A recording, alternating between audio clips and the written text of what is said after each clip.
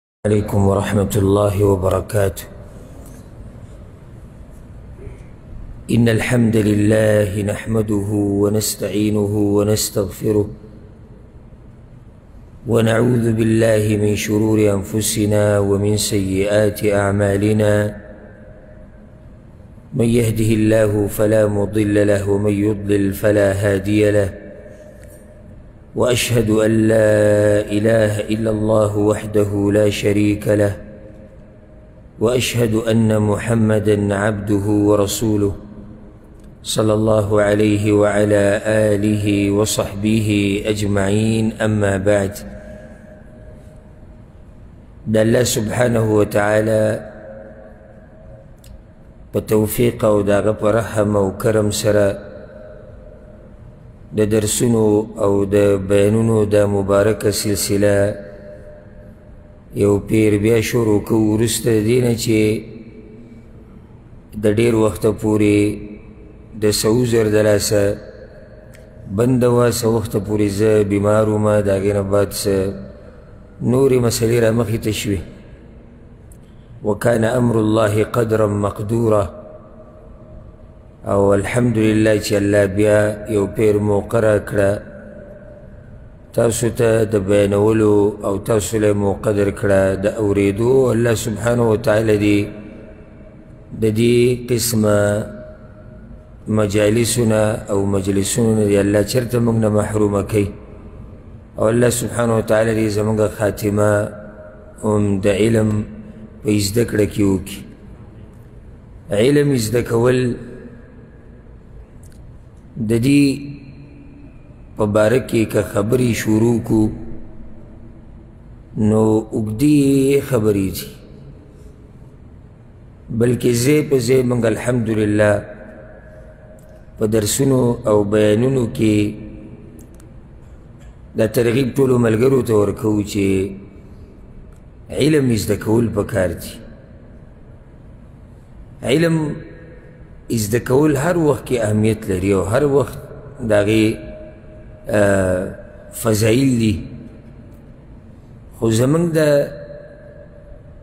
دور چې دی او زمونږ د زمانه چې ده په دې وخت کې د علماو په خوا کې او خصوصا زه حق پرست علما یادو کله چې زه د علماو په خوا کې د ناست د ناستې خبره کوم په هر درس کې او په هر بیان کې چې او د علماو نه د علم د زده کړې خبره کوم نو بغیر د وضاحت نه پوه شي چې مراد هغه علما دي چې هغه قرآن او حدیث بیانوي ما وی د فتنو پرې دور کې دې کې فتنه یو دام دی چې داسې علما پکې لګیا دي برای نام چې هغه قرآن او حدیث نه دي خبر دام یو فتنه ده دا مطلب د خبرې نه دی چې کوم ځای کې تا ته پټکي والا ښکاري رومیل والا ښکاري او د هغه په خوا کې کښېنه مطلب د هغه علماو سره په دې دور کې زنګنان ماتول چې هغوی قرآن او حدیث بیانوي دا خبره انتهایی ضرورت لري په نن سبا وخت کې حق پرستو علماو سره ناسته د هغوی سره تړون دا یو لوی نعمت دی په دې دور کې لوی نعمت ځکه چې د فتنې نه به دې خبروي چې دا کار دا خبره دا طریقه دا مسله دا غلطه ده دا صحیح ده دا فتنه ده دا کمزوري ده نو په دې نن سبا دور کې ډیر لوی ضرورت دی موږ ته چې موږ د حق پرستو علماو سره کینو د علم د زده کولو لپاره انتهایی ضرورت دی کمی فتنی چی دی کنه و رب الكعبه د چپو پشان دی لکه چپو چی د مای راشی دی یو زینی دی یو زی ته وړي او د بل زینی دی بل زی ته وړي او دا به نه وي چې زه څوک یم چېرته به دا نه وي چې زه پلانی او علانی یم پیغمبر صلی الله علیه وسلم دا دعا نقل دغه اللهم انی اعوذ بک من الفتن یا الله زه تا پورې پناه نیسم د فتنو نه فتنو نه مې وساته دا ګوره پیغمبر صلی الله علیه وسلم دی دا کیدی نشي چې فتنه دی ګډوډ کړي دا نشي کیدی خو بیا هم یریږي په ځان باندې وی الله د فتنو نه مې وساته ته څوک یې چې ته وایې زه پلانی او الله نه ته څوک یې که د یو ملا دوو بیانونه مې راته ولګول که نه نو هم به پکې ګډوډ شي که چېرته د جنۍ تصویر او سندرې دې مخې ته راغله که نه نو هم کېدای شي ګډوډ دي کړي بازار ته که ووتې او جنکۍ دې ولیدې نو هم کېدای شي ګډوډ دي کړي دا قصې مه کوه زه پلانې او الله نه همېشه دا وایم یا الله ومې ساته او دا وایم نه وایه زه کمزوری یم زه کمزوری یم زه یېرېږم په ځان باندې یوسف علیه السلام د هغه چې کومه دعا را نقل ده په سورت یوسف کې وی الله الله ته وی توفني مسلمه ما په داسې حال کې مړ کړه چې زه مسلمان یم دا یوسف علیه السلام دی او دی دا وی الله ما داسې مړ کړه چې زه مسلمان یم ته څوک چې ته دا خبره نه کړې ته څوک چې ته ما ته دا وایې چې زه به د مرګ پورې په ایمان باندې یم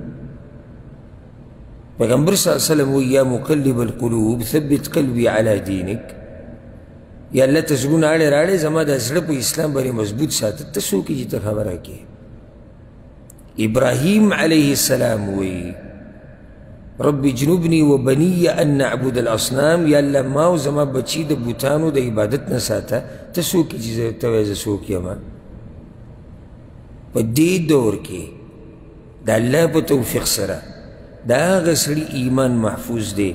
چې اول خو یریږي په ځان باندې او دا چې یریږي نو دی به کوشش کوي د ایمان د ساتلو ځکه چې تاسو ته هم یریږي چې ویرېدې خبره برابر شو او چې څوک په ځان نه یریږي او په خپل ایمان نه یریږي دی د ساتلو کوشش هم نه کوي ځکه چې هلته هغه ډاډه دی او که ایمان یې ګډوډ شي مني نه چې زما ایمان ګډوډ شوی دی نو د ایمان د ساتل یو طریقه دا ده چې ته به په ایمان باندې یریږي دویمه طریقه دا ده چې ته به همیشه دا دعاګانې غواړي چې الله زما د ایمان حفاظت وکړه او دریمه ده د دین چې کوم ډاکټران دي او کوم علما دي د هغوی په خوا کې به کینې چې ایمان دې ګډوډ نه شي او که چېرته ګډوډ شوی نو چې بیا برابر شي او زه اکثر دې ملګرو ته دا خبره ډیره کوم زه هم زمونږ په دې دور کې خوش قسمت انسان هغه دی ورب الکعبه دومره خوش قسمت چې موږ ته پسخیږو چې څوک د قبر پورې د خپل ایمان سلامت ورسي د قبر ته لاړ شي او د په کلمه د لا اله الا الله باندې د ایمان د قبر ته ورسي او د پیغمبر تابعداري کوله د قبر ته ورسي او الله د فتنو نه وساتي نور نعمت ستوي نعمت دقت کوم حالات چې روان دي مونږ یې ګورو او الحمدلله زه په هغه مولیانو کیم نه یم چې ځان د سنه نه خبروم بلکې د هر سنه ځان خبروم کوشش کوم او چې کله تر دې نه خبر شي چې دنیا کې څه روان دي او څه کېږي نو خپل خلک خپل کشران خپل ملګري خپل وروڼه به تي وساتي او هغوی ته به ووایي چې دا کار مه کوئ دا کوئ او چې ته صرف په جومات کې او کمره کې او مدرسه کې ناست او دنیا د حالاتو نه خبر هم نه چې بهر څه روان دی او څه نه دي روان کومه فتنه چلیږي کومه نه چلیږي ته به عوامو له څه تنبیه ورکړې او څه به یې پوه وکړي چې دې نه ځان لرې ساتي نو په دې دور کې خصوصا د علم زده کولو ته زموږ انتهایی زیات ضرورت دی او دا په دې د دوه درې هفتو کې ما محسوسه کړه پته نه شي کېدای شي تاسو به زما نه ښه انشاءالله خو ما خو دا محسوسه کړه صرف یعنی نور څه نه چې د درسونه په ژوند کې نه که نه نو ایمان د ډېر حد پورې کمزوری کېږي ستاسو باره کې دا خبره نه کوم زم تاسو به زما نه ښه انشاءالله خو زه خپله خبره دا کوم چې په دې دو درې هفتو کې ما په خپله دا محسوسه کړه لوی فرق هغه جذبه هغه ایمان هغه تقوا هغه دینداری هغه هغه شان نه کمی پکې راځي او دا خو واضح خبره ده چې بغیر د بیانولو نه عقل مني چې کله یو سړی د قرآن او حدیث سره تعلق ډیری د ایمان ډیری تعلق څومره کمیږي دومره ایمان کمیږي شکر وباسي د الله سبحانه وتعالی چې الله تاسو ته دا نعمت نصیب کړی دی ما سوچ دا کوو ما چې دا هفته دوو کې سړي ته فرق محسوسېږي دا خلک چې کوم بلکل د دین نه لري چې دوی به څه حال دا کوم چې سپینګیري شوي دي او تر اوسه پورې دین نه نه خبر چې دوی به څه حال خو په هغوی اثر نه کوي وجه دا ده چې دا زړه کله تور شي پیغمبر صلی الله علیه وسلم وي د ګناهونو د لاسه نو دا داسې شي لکه ته چې ګیلاس الټه کړي لاندې عیسی بر راولي او بره سرې لاندې کړي دا زړه دقه شان شي نو ښه کار ورته پیغمبر صلی الله علیه وسلم بد ښکاري او بد ورته ښه ښکاري نو په دې به اثر نه کوي نه معروف پیژني او نه منکر پیژني چې ښه څه ته وایي بد څه ته وایي ګډوډ شي نو بیا په ده اثر نه کوي خو چې کم سړی زړی ژوندی وي په هغه باندې لوی اثر کوي کوشش کوي او بیره ته هم کوشش کوي او بیره ته هم کوشش کوي چې قرآن او حدیث یې زده کوي قرآن او حدیث د علماو سره ناسته دا یو کشتۍ ده چې دې ته کله سور شوې د فتنو د دې چپونو به الله وساتي کشتۍ کې نه وي سور شوی او دغه شان پې ورغلي نو دا چپې به دې د داسې داسې ځي ته به یې ورسوي که نه چې دنیا به دلم تباه و برباد کړي او آخرت به دلم تباه و برباد کړي الله سبحانه وتعالی پیغمبر صلی الله علیه وسلم ته د یو شي په باره کې دا نه دي ویلي چې ته دا زما نه ډېر زیات غواړه او دې سي وای او دې سي وای چې الله دا مال ډیر راکړي دی یو شی وبرکې ورته نه دی ویل خو دی ورته ویلي دی پیغمبر دا دعا غواړه وقل رب زدني علما ای پیغمبر ته دا وایه چې ای زما ربه زما د علم زیات که پیغمبر وایي پیغمبر وایي یا الله زما علم زیات که او دې دې بعضو ته چې ووایې راشه څه مسله به یې زده کړې وایي داسې خو الحمدلله موږ پوه یو داسې خو موږ پوه یو وایي او چې یو دوه درې مجلسونو کې کینی د علم او د علماو سره رابطه د چا پلار به درته ووایي چې راشه علم یې زده کړه او راشه په علم کې دې څه کمی دی هغه پوره کړه نه نه دا به ورته نه وی بلکې بعض خو دا وایي چې ږیره سپینه شي او عمر یې زیات شي دله حیا ورځي چې دی د عالم نه د مسلې تپوس وکړي ولې وایي دی به وایي چې ده ته دا مسله نه ده معلومه الله اکبر ته به چې دا داسې یو یو یو یو حافظ الحدیث دی او یو علامه دی چې عالم به دا وایي چې ده ته دا مسله نه ده معلومه الله پیغمبر ته وایي ته وایه چې الله علم مې زیات کا پیغمبر هم دې ته محتاج دی چې الله ولا علم زیات کړي او ځکه یو حدیث کې راځي پیغمبر صلی الله علیه وسلم څه وایي وایي ورکوونکی الله دی ورکوونکی الله دی زه تقسیموونکی یم دې حدیث په شرح کې علماو ډېرې خبرې کړي یو دا ده چې علم ورکوونکی الله دی زه صرف بیانوونکی یم نور د چا په قسمت کې دی د چا په قسمت کې نه دی دا خبره د الله سره ده پیغمبر وایي زما کار بیانول دي نو پیغمبر هم دې ته محتاج دی چې الله د هغه په علم کې اضافه وکړي او علم یې ډېر شي نو موږ ته به محتاج نه علم په عباداتو کې اوچت عبادت دی او چې کله ته دا وایي چې په عباداتو کې اوچت عبادت دی تعجب پې مه کوه تعجب پې په دې مه کوه چې دا علم د سره ته نور عبادات هم نشي کولی دا واضح خبره ده علم علما وایي د دې فرض عبادتونو نه بعد په نفلي عبادتونو کې د ټولو نه اوچت عبادت هغه علم زده کول دی هغه علم نه یادوم یو خو هغه علم دی چې کوم ضروري علم دی هغه واجب دی ضروري علم کم یو دی کم عبادات چې یومیه روزمره ستا په ژوند کې راځي د دې په باره کې معلومات ساتل دا خو فرضي علم دی عقیده یې زده کول توحید یې زده کول دا خو واجب دي زه هغه علم وایم چې کوم علم فرض کفایي دی هغه یې زده کول د دې ټولو نفلي عبادتونه غوره دي علم یو رڼا ده په تیارو کې علم رڼا ده په تیارو کې علم عقل دی د بې عقلو په منځ کې چې علم د سره کې نه عقل د سره دی او چې علم ورسره نه دا بې عقله دی چې علم د سره کې نه رڼا ده تا سره د تیرو په منځ کې او زه د علم فضایلو له نه ورځم چې تاسو د علم فضایل بیان کړم زما موضوع په دې نصیحت کې هغه دا ده چې د علماو د مجلسونو نه ځان ملرې کوئ یعنی دنیا به هم تباه شي ستاسو او آخرت به هم ستاسو تباه شي ځکه زما اهمه خبره ده یعنی د علم فضایل که بیانول شروع کړو بېشماره فضایل دي خو دا علم چې زده کې نو په څه طریقه به زده کې علماو له به ځي علماو له به چېرته ځي مجلسونو له به ځي د هغوی د ناستې ځي له به ځي دې خبرې د راتله وه چې صحیح شو موږ خو په دې پوه شو چې په دې دور کې علم زده کول څه دي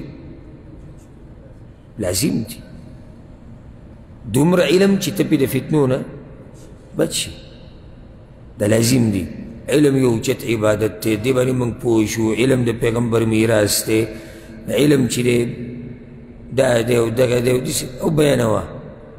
اوس اهمې خبرې له راشي صحیح شو زه خو په دې پوه شوم چې علم یو چت عبادت دی دا علم تقسیمیږي کوم ځای کې دا د علماو په خوا کې تقسیمیږي خو د علماو په خوا کې تقسیمیږي څه به کې د دقه علماو مجلسونه به په ځان باندې لازموي او د دوی سره به ناسته کې په جوماتونو کې په جامعاتو کې په مدرسو کې که په هر ځای کې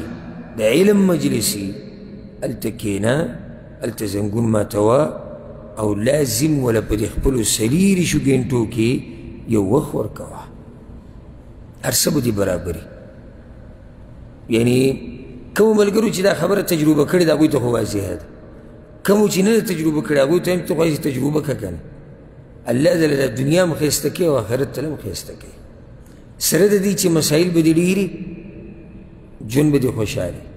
غمونه به دې الله ختم کړي مصیبتونه به دې الله ختم کړي په جسم کې برکت په رزق کې برکت په علم کې برکت په تقوا کې برکت په عبادت کې برکت په بچو کې برکت په مخ کې برکت په لاس کې برکت په عمل کې برکت په وینا کې برکت دا ته ته سدي د لاسه میلاویدی شي چې ته د علماو په مجلسونو کې کښېنې او د علم د زده کولو کوشش وکړي دلته خو دا ملګري موږ سره الحمدلله ډېرې مسلې زده کوي زه تاسو ته یو حدیث وایم او یا یې کوي پیغمبر صلی الله علیه وسلم یو پیر دا خبر وکړو دا حدیث په صحیح مسلم کې دی وی په تاسو کې څوک دا خبره خوښوي چې روزانه بطحان علاقې ته ځي یا عقیق علاقې ته د دواړه مدینې سره خوا کې دغه ځای کې مسجد نبوي ته نږدې دي تاسو کې څوک دا خوښوي چې روزانه دي دغه علاقې ته ځي او د هغه ځینې دي د ځان سره دوه اوښان راولي قیمتي څوک دا خوښوي چې روزانه دي ځي او دوه اوښان راوله روزانه ځي او دوه اوښان راوله اوښ په هغه وخت کې خو بې انتها قیمتي و خو نن سبا هم قیمتي دی لکه که ته ځې او کمزوری اوښه دی په څو درې درې نیم زره باندې ملاوېږي څلور پنځه زره ته ځې روزانه دوه اوښان راولې نه هلک زریلی شو دا په نن سبا دور کې زه وایم چې ته هغه وخت کې خو اوښ یو قیمتي شی دی خو دې وخت کې که ته زه کمزوری اوښ ځان لالې چې هغه داسې د کار ډېر نه او صرف غوښې لالې نو تا ته په دقه میلاویږي نهلز الرياله د روزانه به تانه لګي خو چې تا ته یو سړی چې راشه روزانه پلانې علاقې ته ځه دوه اوښان هسې بوځه هسې خوښه هم ده که نه ده خوښه د چا نه ده خوښه اوښان پرېږده که چا راته وایي چې دوه چرګې وړه روزانه راځه نو هم پسې ځو که نه نه ځو ځو پسې هسې دوه چرګې راکړي خوراک به وکړو کور کې به واړه وخوري پیغمبر صلی الله علیه وسلم چې کله دا خبر وکړه صحابه کرام یا رسول الله نحب ذلك من ټول دا خوښو دا څوک نه خوښ زاو دوه اوښان راوړه او قیمتي اوښان پیغمبر صلی الله علیه وسلم ورته اوس غوږ کېدی راځي اهمې خبرې ده په تاسو کې چې یو سړی وایي جومات ته لاړ شي فیتعلم او یقرأ آیتین من کتاب الله جماعت ته لاړ شي او د الله د کتاب دو آیتونه یې زده کړي او یې تلاوت کړي جماعت کې خیر له من ناقتین دا دو آیتونه یې زده کول د دغه وخانو نه غوره دي وثلاث خیر له من ثلاث واربع خیر له من اربع ومن اعدادهن من الابل درې آیتونه د دریو خانونه ګوره دي څلور د څلورو نه پنځه د پنځو نه او داسې بیا ځه سم خیال دی چې یو سړی دا خو پیغمبر اسلم صاحب د آیت دوه خبره کوي چې یو سړی د علم په مجلسونو کې کینی او تفسیر یې زده کوي ترجمه یې زده کوي حدیث یې زده کوي سیرت یې زده کوي عقیده یې زده کوي منهج یې زده کوي تقوا یې زده کوي عمل یې زده کوي در به الله څومره څه ورکوي تاسو چې دې جومات ته راشئ که نه دلته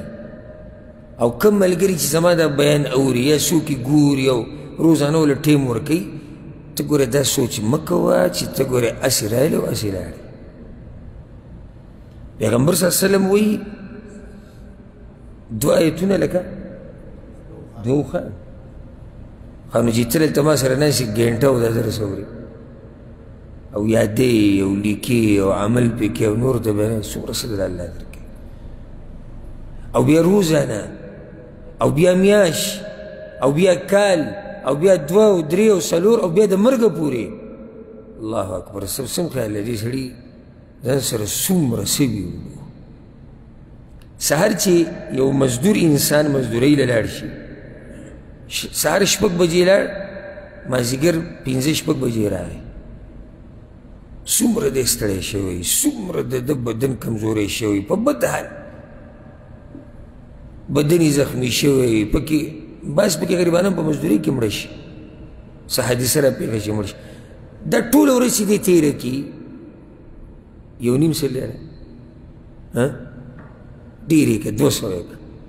صرف دوه سوه راله صرف دوه سوه دا دوه سوه کمې دي د دې بدن او د هر څه په مقابل کې او څومره محنت او څومره سخت او بچی دې لري دي او ښځه لري ده او مور پلا لري او ته چې صرف دوه آیته یې زده کې د الله د کتاب نه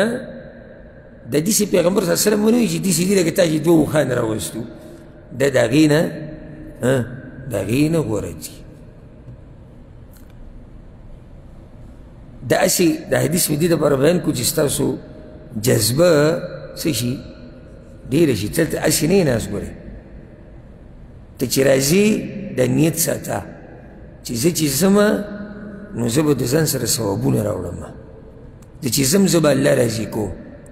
د چې زم زه به علم زده کوم چې زه راشم او زما په علم کې ډېروالی راغلی او دا راته ووایم که ته دلته کینې پاسې او څه دې نه یاد کړي که نه او نه څه زده کولی شي نو هم په ځان خپه شه لږ وایې ځکه چې ته بې مقصده یعنې هغه کوم چې اصل مقصد دی کې ته نه کامیابېږي صحیح ده الله به درنه راضي شي اجر به درکړي خو لوی مقصد دلته قرآن او حدیث یې زده کول دي چې په دې باندې ته رسې الله ته بغیر دې نه ته رسېدی نه شي الله ته نو چې په دې لار ته رسې الله ته او دا لار ته یې زده نه کړې نو ته بیا عاجز انسان یې تا باندې زړه سېزل پکار دي حدیث کې دا راځي پیغمبر صلی الله علیه وسلم وایي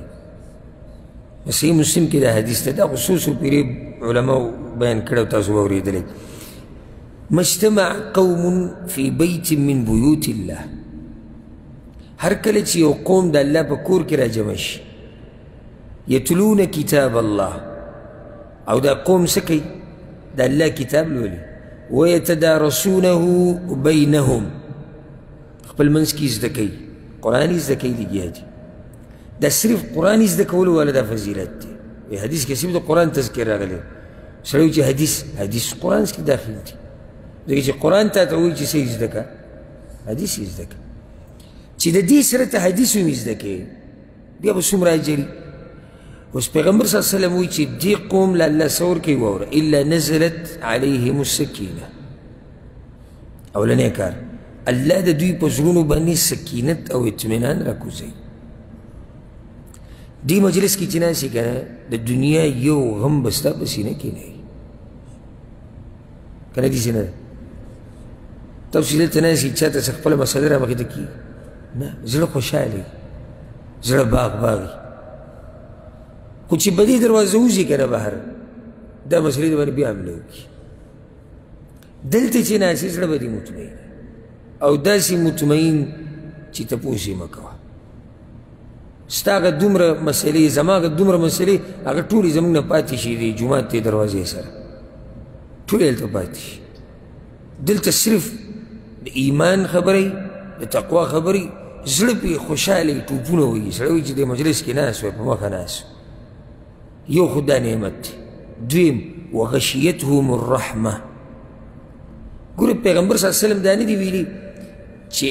الله دوی له خپل رحمت ورکړي یا الله پرې رحم وکړي دی نه دي ویلي وغشیتهم الرحمه الله یې ډوب کړي په خپل رحمت کې الله یې ډوب کړي په خپل رحمت کې د سر د ویښتونو واله ده د خپې د دې ګوتو د نوکونو پورې ته د الله په رحمت کې ډک ناسي او ډوب پکې ناسي او صرف دا نه وحفتهم الملائکه ملائکه هم دې مجلسونو ته راجمع کېږي څومره بدبخته دي دا بعض چې له دې قسمه مجالسو نه ځان لرې ساتي او خوا کې د جومات په خوا کې به اوسېږي په هغه علاقه کې به اوسېږي په هغه ځي کې اوسېږي او د ده پکې برخه نه او هغه مخلوق چې الله صرف خپلې بندګۍ له پیدا کړی دی ګناه ترې نه کېږي ګورې د ملایکو نه ګناهونه نه کېږي هغوی هم دې مجلسونو ته راشي تاسو ته هغه حدیث معلوم دی کنه چې د جمعې په ورځ د جمعات په دروازه باندې ملائک ولاړې څه کوي لیکل کې خلک نوټ کوي چې څوک مخکې راغی څوک وروسته که چې خطبه شروع شي بیا څه کوي رجسټر بند کړي بیا څه کوي خطبه اوري دا ملائک په دې مجلس دومره راجمع شي پیغمبر صلی الله علیه وسلم حفتهم په یو د پاسه بل په یو د پاسه بل په بل د پاسه بل او دا ملائک راجمع کېږي راجمع کېږي او اسمانو پورې دغه ودرېږي دا ټول راجمع شي دې مجلس ته او د ټول اوچته خبره وذکرهم الله فی من عنده او الله دې خلکو تذکره په اسمانونو کې د ملائکو په مخ کې کوي الله یې یادوي اوس که چېرته یو باچا په تقریر کې یو وزیر اعظم زما او ستا نوم والي څه خیال داسې به وي چې خوب به نه راځي د خوشحالۍ پلاني زما نوم اخیستی څه خیال دی چې دغه باچایانو باچا ستا تذکره په اسمانونو کې کوي او د ملایکو په مخ کې ستا نوم علي او ستا باس کوي او ستا تزکیه کوي او ستا صفت کوي څومره اوچت نعمت دی او ځکه حدیث کې راځي الله اکبر امام بخاری امام مسلم دا حدیث راوړی دا حدیث زه هم که نه زه خپل ځاني دی زه چې ما بار بار ویلی په مخه مې ویلی په مخه مې اورېدی نه مړېږي پې سړی داسې خوږ حدیث دی پیغمبر صلی الله علیه وسلم او ابو هريره رضی الله عنه دغه نه دار نقل کوي و ان لله ملائکه يطوفون في الطرق د الله په دې ملایکو کې بعض داسې دي چې هغوی په دې لارو کوڅو کې ګرځي فکیس یلتمسون اهل الذکر ګرځي په هغه چا پسې چې څوک الله یادوي او کله چې داسې ویلی شي یادول د الله نو دې کې ټوله دینداري دننه راځي ځکه چې دا دینداري د الله یادول دي که نه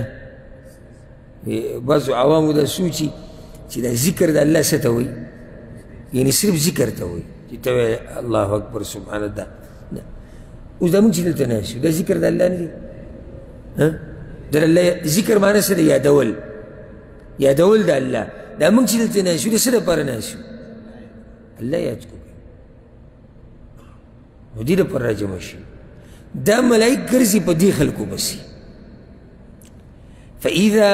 وجدوا قوما يذكرون الله نو چې کله یو قوم عمومي او دقه کار کوي الله یادې دیني زده کوي د پیغمبر تذکرې کوي دغه کار کوي تنادوا یو بل ته آواز وکړي هلمو الی حاجتکم راځي هغه ستاسو حاجت پوره شو تاسو خو ګرځېدئ په اهل ذکر پسې او دا دي پیغمبر صلی الله علیه وسلم وی فیحفونهم باجنحتهم الى السماء الدنیا پیغمبر صلی الله علیه وسلم وی دا ملائک پر راجم شي او دا وزیر تاسو خوري کې په یو بل پاسه په یو بل پاسه دنیا اسمان ته ورسي قال فيسألهم ربهم وهو أعلم منهم چې کله د اسمانه پورې ورسي الله دې تپوس وکړي او الله د هغوی نه ډېر پوهه دی او ښه پوهه دی داسې ډېر حدیثونه راځي چې الله تپوس کوي د ملایکو نه دا ګوره الله دې دپاره نه کوي چې الله ته پته نه وي په دې کې حکمت یې الله وي چې دا خبره راښکاره شي اوس که الله د دوی نه دا تپوسونه نه وی کړی نو دا خبره موږ ته نه راښکاره کېده الله تپوس کو دا غوی نه خبره بیا پیغمبر صلی الله علیه وسلم تر ورسیدا پیغمبر صلی الله علیه وسلم مونږ ته وی مونږ دا یې خبر شو دا دې پر الله تپوس نه کی چې الله ته پته نشته الله چې تپوس کی او الله دا غوی نه خپو هده ما یقول عبادی دا زما د بندگان سکی هغو ته یې الله یسبحونک ویکبرونک ویحمدونک ویحمدونک ویمجدونک یا الله ستا پاکي بیانوي ستا لویي بیانوي ستا حمدونه بیانوي ستا عظمت بیانوي یو حدیث یو حدیث کې داسې هم راځي وایي الله ستا د پیغمبر تذکره کوي هغه باندې درود وایي ناست دي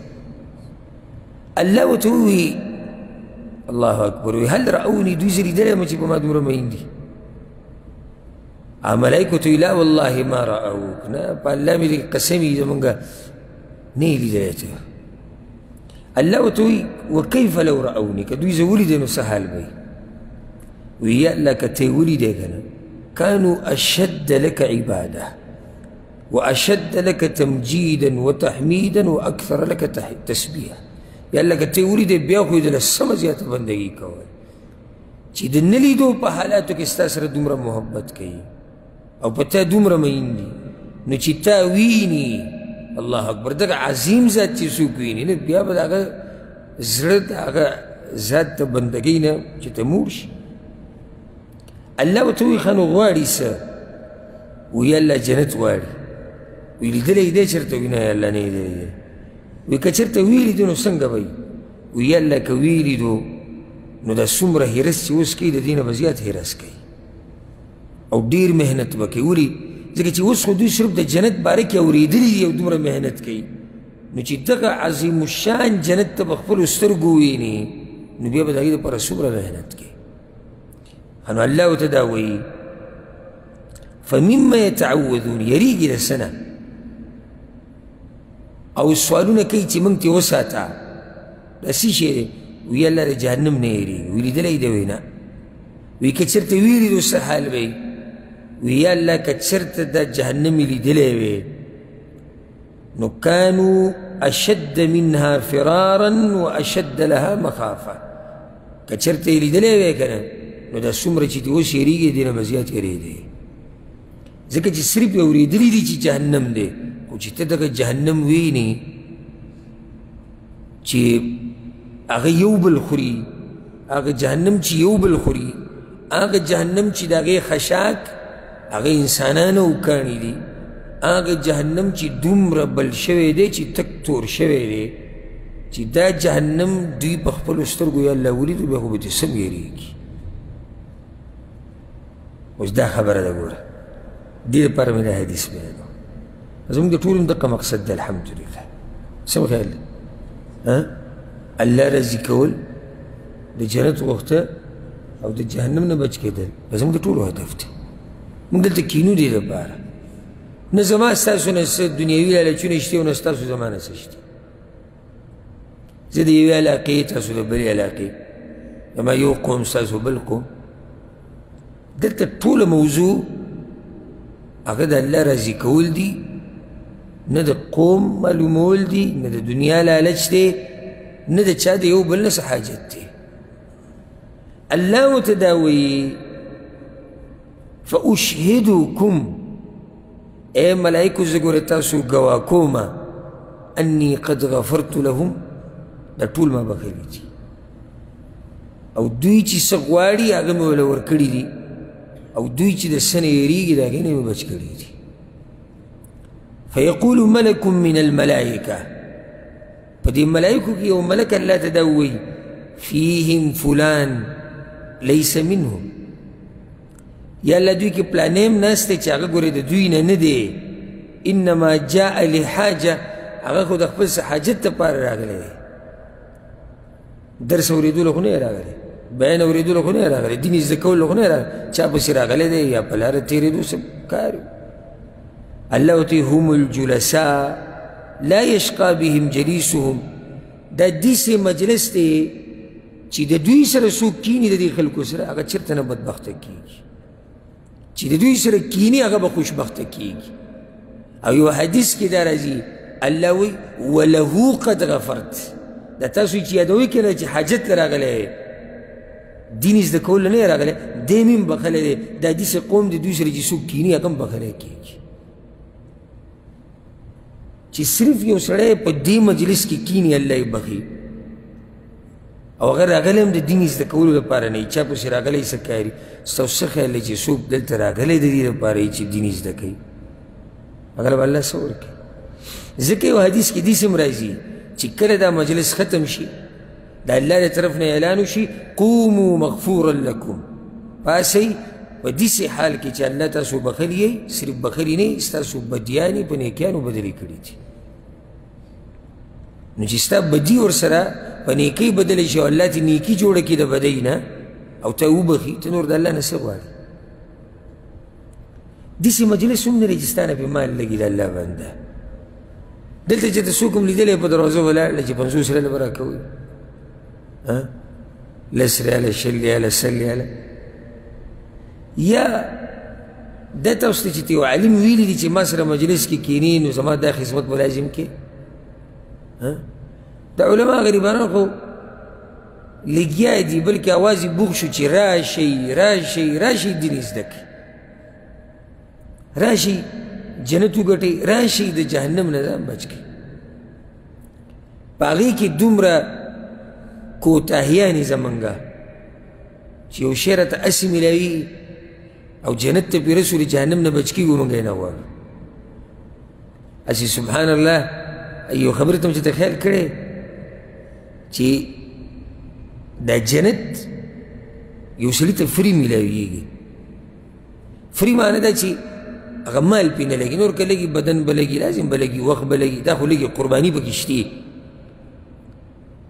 خو ګناه کې به ته پیسې هم لګې وخت به لګې بدن به لګې هر څه به وکړې پیسې به پکې هم لګې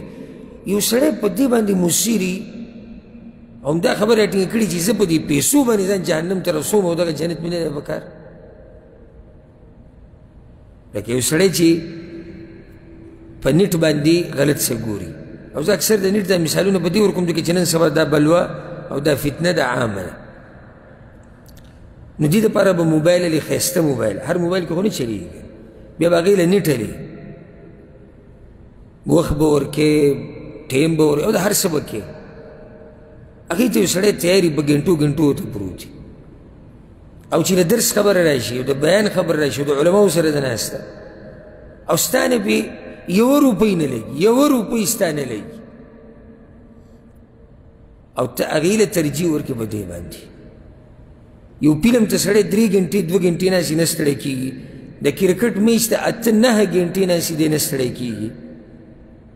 خبرونو ته دی په ګنټو ګنټو ناستې نه ستړی کېږي او چې کله داسې مجلس ورته وویل کوم چې موږ خبره کړو چې الله هغوی ته اعلان وکړي چې پاسې مه تاسو بخلي دې مجلس ته بیا ډډې نه لګي کله یو باندې کله بل باندې دا مجلسونه ګوره مضبوط راونیسي او سبحان الله د ابو هريره رضی الله عنه مبارک راځي وی هغه یو پیر بازار ته ووت د پیغمبر صلی الله علیه وسلم د وفات نه بعد نو دا خلک یې ولیدو د مدینې په دې بازار کې سم شور دی او څوک څه شی علي او څوک یې خرڅوي اواز یې وکړو او په تیز اواز وکړو وی اے خلکو د پیغمبر صلی الله علیه وسلم میراث تقسیمیږي په مسیح نبوي کې میراث تقسیمیږي دا دلته لګیا یې شور جوړ کړی وانتم ها هنا خلکو منډې کړي چې د پیغمبر صلی الله علیه وسلم میراث وي نصیب به پکې زمونږ هم ورسي فلما ذهبوا ولم يجدوا شيئا رجعوا تجارت کوي څه نشته ته علما ناست دي درسونه کوي بیانونه دي او حدیثونه دي او کې تفسیر دی او قرآن دی بیا واپس راغلي ابو هريره صاحب داسې تاسو ناشنا خبر وکړه میراث تقسیمیږي موږ لاړو سره وی و ما رايتم في المسجد تاسو په جمعات کې څه ولیدو وی راينا قوما يصلون بعضې مو ولیدو په منځو وقوما يقرؤون القرآن بعض ناستي قرآن نه راغستې دي وی وقوما يتذاكرون الحلال والحرام او بعض ناستي په درسونو کې حلال او حرام زده کوي نه ابو هريره ورته ووي رضی الله عنه مسکی شو وایي حکم تبا شي فذاک میراث رسول الله صلی الله علیه وسلم همدغه مې درته یادو که نه دلته د پیغمبر صلی الله علیه وسلم میراث تقسیمېږي دا مجلسونه ګورې معمولي مه ګڼئ چې تاسو رالی یو خبره وړه خبره ده او کېناستئ لږ تاسو په هغه ځي کې ناستئ چې هلته څه تقسیمېږي د پیغمبر صلی الله وسلم میراث تقسیمېږي څومره خوشبخته خلک یې تاسو څومره خوش قسمته خلک او سبحان الله دا کم خلک چې راجمع کېږي د الله دپاره الله وی په ما لازم دي چې دوی سره به محبت کو موږ دلته الله د پر راجمه کیو لکه سات محکمه ده دې مجلس کې ټول خلک چې راجمه شوي دي څه لپاره د الله لپاره دا یو بل سره چې زموږ محبت دی د چا د لاسه دی د الله لپاره دی او ځکه یو حدیث برته ویم ډېر خوندور روایت دی امام مالک راوړی دی ابو ادریس الخولاني رحمه الله وایي وی زه لاړم دمشق ته نو دمشق چې دا کوم غټ جومات دی مشهور هغې ته ورننوتم یو ځوان هلک مې ولید وایي سیټ ته ناست دی خو سم پړقېږي داسې یو ښایسته انسان ناست دی او خلک ته ګیر چاپېره څومره جمع شوي دي او د چا چې څه مسله کې اختلاف راځي نه پوهېږي بس ډایرک د هغه خواله ورځي وی چې ډېر تعجب کې شوم چې دا دومره ښایسته انسان او د خلکو دا دومره ګڼه او دا خلک را جمع شوي دي ده ته وی ما چې من هذا سألت عنه من هذا تپوس مې وکړو دا څوک دی وی هذا معاذ بن جبل رضی الله عنه دا معاذ بن جبل دی رضی الله عنه وی سبا له په ټیم خو ګڼه و چې کله سبا شو وختي وی جمعه ته رالم وی مې چې وختي ځم چې څنګه معاذ بن جبل راځي نو زه په جومات کې ناست یم زه به ورسره میلاو شم الله اکبر وختي وی لاړم چې د جومات بلکل خالي لارې کوڅې ټولې خالي وي زه ورلم وختي وی چې ورلم اقه ښایسته انسان په رکوع او په سجدو په جومات کې دا زمانه مخکې راغلی معاذ بن جبل هلته وی او جومات کې زمانه مخکې را رسېدل وی چې مونځ یې ختم کړو زه د مخې نه راغلم او دا یو ادب دی ښه دا هم دې کې مخې نه راغله عالم له به د مخې نه راځي چېرته به د شا نه نه راځي دا بې ادبي ده ګورې لکه دا بعض کسان راشي که د شا نه شیخ صاحب مولوي صاحب مولانا صاحب نو عالم پسې بیا غریب شاته سر چورلی ادب دا دی چې ته به د کوم ځای نه راځي ته به د مخې نه راځي نو زه له د مخې نه رالمه وی سلام مې پې واچو وی چې څنګه مې پې سلام واچو وی ډایرک مې ورته وی والله اني لاحبک فی الله په الله مې دې قسم وي چې د الله دپاره تا سره ډېره مینه کوم وی ما ته وی چې الله یعنی د الله په نوم قسم در کوم په رښتیا ما سره ډېره مینه کې وی ما ورته چې الله الله قسم وکړ وی بیا راته وی چې قسم در کوم په رښتیا مینه کې وی چې درې پیرې ورته دا وی چې کله مې ورته دا خبره درې پیرې وکړه نو وی زه د دې صادر د دې غاړې نه ونیوم او ریخ کودم ځان ته داسې رېږدې یې کړم وی ما ته وی چې خوشحاله شه فإني سمعت رسول الله صلى الله عليه وسلم يقول ما د پیغمبر صلی الله علیه وسلم نه دا خبره اورېدلې ده وجبت محبتي په الله وی ګور الله وی ها پیغمبر صلی الله علیه وسلم وی الله وی حدیث قدسی دی الله وی په ما لازم دي چې زه محبت وکم للمتحابين في والمتجالسين في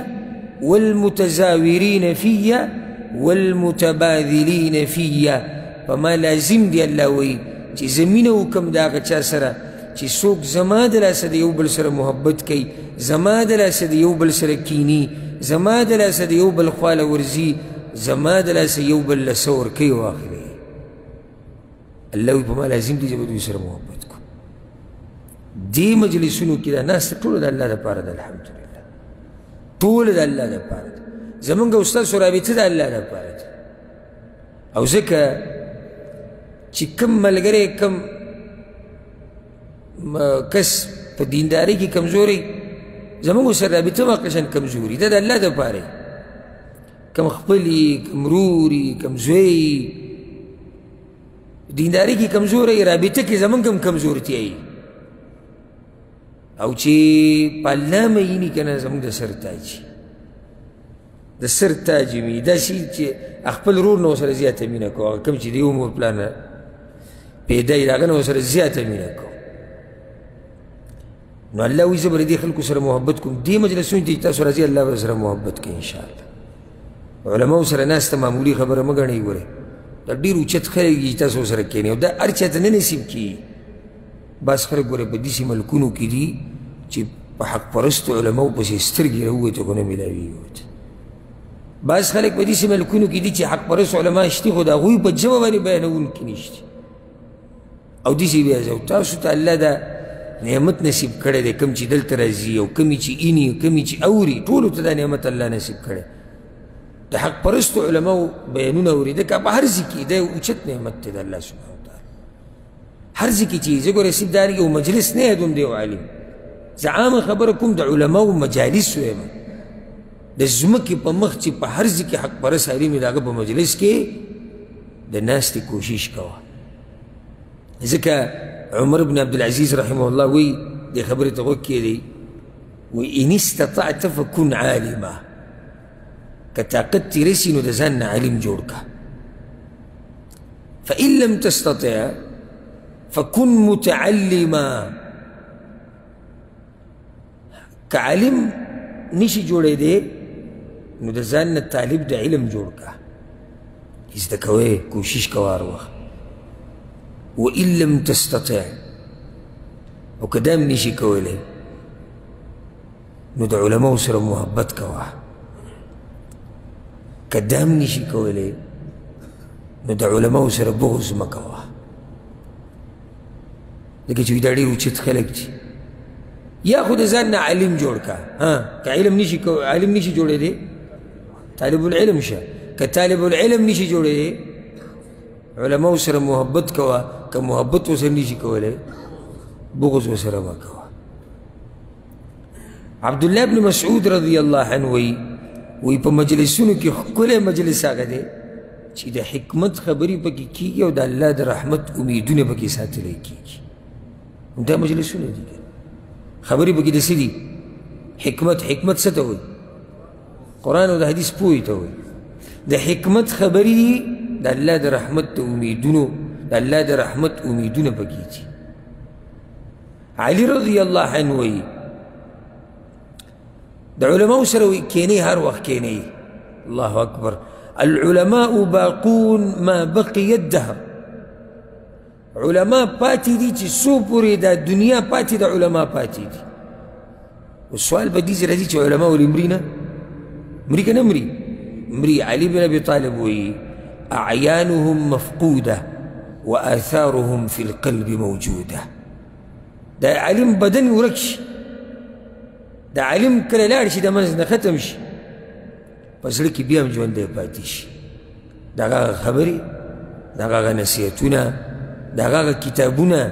د هغه هغه لیکل هغه ژوندي پاتې شي څه ناشنا خبره علي بن ابي طالب کړې ده الله اکبر وایي چې څو پورې زمانې علما شتي دا ژوندي دي دې ښکلی مثال د ابو هريره رضی الله عنه والا اکثر مخکې ما خبره وکړه حدیث مو کله وفات شوی دی وګوره تقریبا څوارلس سوه کاله کېږي چې ابو هريره رضی الله عنه د دنیا نه تللی او د اوسه پورې زموږ په زړونو کې څه دی ژوندی دی او د کوم وخته پورې قیامته پورې مرګ پورې نه قیامته پورې چې څو پورې دنیا ده علما دي نو دې خلکو سره به نه کینې د دې خلکو دا مجلسونه به غنیمت نه ګڼي او ځکه بعض علما وایي چا دې تپوس کوي د دې علماو فضیلت راته بیان کړي چې دا علما غوره خلک دي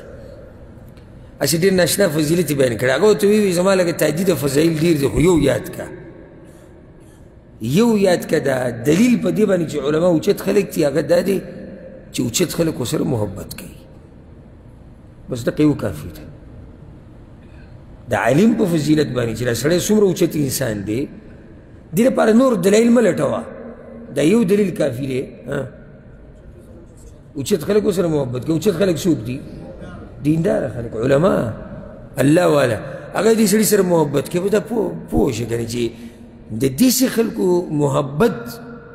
د هر چا ته خو نه نصیب کېږي دا خو الله د هغوی په زړونو کې دا محبت ورچولی نو چې اوچت خلکو سره محبت کوي ته به په مجلس کې نه کښېنې د هغه نه به ته علم نه زده کړې او ځکه سفیان ابن عیینه رحمه الله وایي وی د الله په نس په خلکو کې د ټولو نه اوچت مقام د هغه چا دی چې د الله او د بندگانو په منځ کې واسطه وي خنو دا واسطه څوک دي ها علما دي علما پوړی ده ته رسی په دې پوړی باندې چې ته وروخیږي نو ته ورسې قرآن او حدیث ته الله ته رسېده غواړي علماو سره به رابطه مضبوطه د هغوی په مجلسونو کې به کښېني هسې خو نه شي کېدی عام سړی چې علم ورسره نه هغه څه پوهېږي په قرآن او په حدیث باندې او دغه شان امام سفیان یو ځي کې دا خبره کړې ده وایي دنیا کې د ټولو نه اوچت نعمت چې الله چاله ورکړی دی هغه نبوت دی او د نبوت نه بعد که نبوت الله ورکړی خو بعضو خلکو له ورکړی پیغمبران خو محدود دي د نبوت نه بعد که بیا الله چاله غوره څه ورکړی دی نو هغه علم دی نبوت وی چې الله چاله دنیا کې څه ورکړي غوره پای کې غوره شی څه شی دی نبوت ته په نبوت پسې بیا غوره څه دی هغه علم دی او ځکه سبحان الله سهل التستري رحمه الله څه ناشنا خبره یې کړې ده الله اکبر ومن اراد ان ينظر الى مجالس الانبياء که څوک د پیغمبرانو مجلسونو ته کته غواړي پیغمبران تیر شوي او زموږ ټولو په زړونو کې دا ارمان دی چې د هغوی مجلسونه به څنګه وو د هغوی خبرې به څنګه وي د هغوی ناستې پاستې به څنګه وي که څوک دا غواړي من اراد ان ينظر الى مجالس الانبياء فلينظر الى مجالس العلماء نو د علماو مجلسونو ته ګورئ د پیغمبرانو مجلسونو به تر یادېږي هغوی به هم دقه شان دین بیانوي نور کوی څه نه بیانوي او یو عالم ناست هم هغه دین بیانوي چې د پیغمبرانو بیان کړی هم دقه مجلس دا مجلسونه معمولي مه ګڼئ ګورئ دی وایي چې څوک د علماو مجلسونه ویني لکه د چې د پیغمبرانو هغه مجلس ولیدو معنی دا نه چې د علما پیغمبران دي معنی دا دی چې دا د هغوی وارثان دي نو چې دا د چا وارثان دي دا علما خو مقشن مجلسونه د هغه خبرې کې کوي چې هغوی کړي څه نه وي خو نه کوي که خلکو ته نصیحت کوي خلکو ته تلاوتونه کوي خلکو ته حدیث ښیي کوشش کوي چې خلک د ګناهونو نه منې شي همدا کار پیغمبر وکړ خو د هغوی سره نبوت او هغوی ته وحي کېده د هغې نه بعد د نبوت او د وحي دروازه بنده شو او ځکه هلال ابن خباب رحمه الله وایي وایي زه پیر د سعید ابن جبیر رحمه الله خواله ورلم وی هغه ته ما دا وویل چې یا ابا عبدالله ما علامة هلاک الناس د خلکو د تباهۍ نښه راته وښایه چې زه پوه شم چې اوس خلک تباه شو هغه نښه څه ده وی اذا هلک فقهاؤهم چې کله د دوی علما ختم شو که نه خلک هم ختم شو لاړو دا خلک چې علما یې دي دوی دي چې علما ختم شي دوی ختم شي نو زما تاسو ته نصیحت دا ټوله خبره مې دې لپاره وکړه چې د علم مجالسو کې حاضری کوئ کوشش کوئ راځئ صرف دلته نه کم ملګري چې دلته دي هغوی دلته کم چې په بل ملک کې دي هلته هر ځکه چې کوشش کوو چې برخه په دې مجالسو کې اړي او که چا سره خوا کې علما نه وي حق پرس علما یا د هغه په ژبه کې ویونکي نه وي نو د انټرنیټ نه دې فایده اخلي الحمدلله د نیټ کې دا یو خیر شته چې دین زده کول په ډېر اسان دي نو ته به ناس په امریکا کې او برطانیه کې او فرانس کې او او بیان به اورې دی عالم چې هغه به ناسي په پاکستان کې یا افغانستان کې یا انډیا کې یا سعودي کې او بل ځای کې بل ځای یا دلته به ناسي او د هغه ځای د عالم بیان به اوري نو دا الغنیمة الباردة د اوچت غنیمت دی چې الله سبحانه وتعالی مونږ ته نصیب کړی دی نو دا غنیمت وګڼي دا هر څه اوس ژوند او فارغ وخت او روغ صحت او دا هر څه شتي او سبا له به یې څوک نه نو کوشش کوئ په دې مجالسو کې د ناستې بلکې یعنی په کار تاسو دین عبرت واري ده نن سبا د دې د دې مولیانو دا قیسې او جافې د دې اهل بدعو دې نټ کې چریږي که نه چریږي د دې قسمه جاخونه د بچ کېدو لار د الله په توفیق سره هغه څه ده هغه د علم په مجالسو کې ناسته ده چې دلته ته کښېنې نو بچ به شي د ډېرو بدعو نه د ډېرو بدعاتو خرافاتو نه د شرکیاتو نه خزعبلاتو نه الله سبحانه وتعالی یې موږ پوه کړي په قرآن او په حدیث باندې او الله سبحانه وتعالی دې د دې قسمه مجالسو نه موږ چېرته نه محرومه کړي او الله دې د مرګ پورې موږ د دین خادمان او د دین دین زده کوونکي وګرځي هدغه معاذ بن جبل خبره مالک سات مخکې وکړه که په کوم جومات کې ناست دمشق په جومات کې ناست معاذ بن جبل دا معاذ بن جبل چې مړ کېدو درې ارمانونه یې کړي وو که نه کړي وو کنه یو پکې څو د علم په مجالسو کې ناسته د مرګ په وخت کې د دې پسې چړلې وي ستاسو په دې دنیا پسې نه جاړم جاړم د جمعې په اوږدو شپو پسې موږ به پکې اوږدو اوږدو تهجد کول جاړم د اوړي هغه اوږدو اوږدو ورځو پسې چې موږ به پکې روژې نیوې اوږدې اوږدې او جاړم د علماو په هغه مجلسونو پسې چې موږ پکې زنګنان مات کړي د علماو نه غیر چاپېره بنای شو نو په دې مجلسونو پسې د معاذ بن جبل په شان سړي دغه کړی دی ارمان او هغه هغه انسان دی چې پیغمبر صلی الله علیه وسلم وایي زما په امت کې چې څوک ډېر په حلال او په حرام باندې پوه دی هغه معاذ بن جبل دی رضی الله او دا چې دې ډېر پوه شوی دا هم د دې د لاسه ګورې دا هم یاده کړي دا خبره دی چې دا ډېر پوه شوی دی که نه نو دا هم د دغه مجلسونو د لاسه دی پوه شوی دی چې دغه ځي ته دی رسېدلی نو کوشش کوئ د علم د زده کولو په هره طریقه چې علم زده کړي او الحمدلله زمونږ د درسونو دا سلسله بیا شروع شوه مقه زوړ ترتیب به د مشکات درس او کشف الشبهات او الاربعون النوویه کتاب الرقاق د پیغمبر صلی الله علیه وسلم صفات احوال اخلاق او د قرآن تفسیر سوال جواب